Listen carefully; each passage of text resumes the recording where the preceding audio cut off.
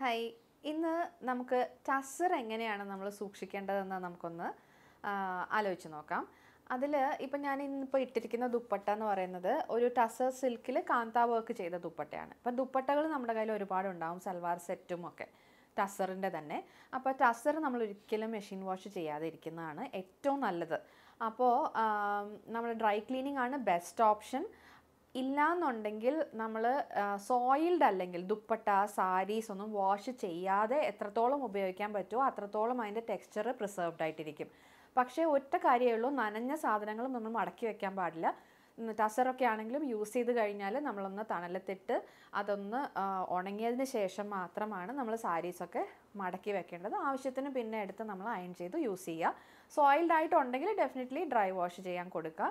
Tussar dry clean ചെയ്താലുള്ള I mean wash ചെയ്താലുള്ള ഒരു പ്രശ്നം എന്ന് പറഞ്ഞാൽ അതിന്റെ ടെക്സ്ചർ മാറിപ്പോവും. അത് ഭയങ്കര സോഫ്റ്റ് ആയി പോവും അപ്പോൾ അല്ലെങ്കിൽ പിന്നെ നമ്മളത് കഴിഞ്ഞിട്ട് സ്റ്റാർച്ച് അയണൊക്കെ ചെയ്യാം. അങ്ങനെ ഒരു ഓപ്ഷൻ ഉണ്ട്. പിന്നെ ടസർ ഉപയോഗിക്കുന്നവരുടെ ഏറ്റവും വലിയൊരു പ്രോബ്ലം എന്ന് പറയുന്നത് അണ്ടർ ആംസിന്റെ അവിടെ പെട്ടെന്ന് കീറിപ്പോവും.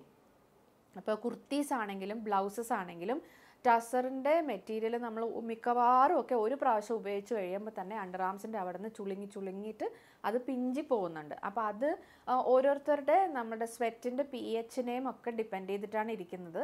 മിക്കവാറും എല്ലാവരുടെയും സ്വെറ്റ് എങ്ങനെ വന്നാലും ടസർ കേടാവാറുണ്ട്. പക്ഷേ പി എച്ച് ലെവലിന്റെ ഡിഫറൻസ് അനുസരിച്ചും ബ്ലൗസിന്റെ കാലാവധി കുറയാം.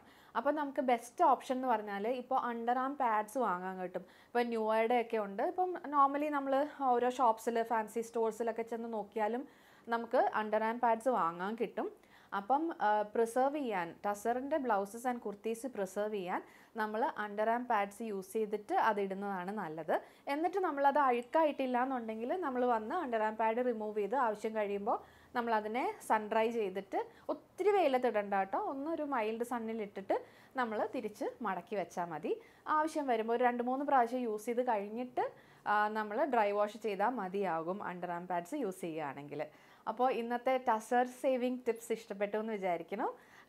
Thank you for watching the video ഇനി എന്തെങ്കിലും ഇതുപോലെ നിങ്ങൾക്ക് ഡൗട്ട്സ് ഉണ്ടെങ്കിൽ മെറ്റീരിയൽസ് ഏതൊക്കെ മെറ്റീരിയൽസിനെ കുറിച്ച് അതിന്റെ വാഷിങ്ങിന്റെ കാര്യമൊക്കെ ഡൗട്ട്സ് ഉണ്ടെങ്കിൽ ഡെഫിനറ്റ് ആയിട്ടും ടിമോറയുടെ വീഡിയോയിൽ കമന്റ് ചെയ്യുക. അല്ലെങ്കിൽ വാട്സാപ്പ് അയയ്ക്കുക. ഇൻസ്റ്റ പേജ് ഉണ്ട് യൂട്യൂബ് ഉണ്ട് ഫേ എഫ് ബി പേജ് ഉണ്ട്. ഏതിൽ വേണമെങ്കിലും നിങ്ങളുടെ ഡൗട്ട്സ് ഇട്ടാൽ will be happy to help you with that thank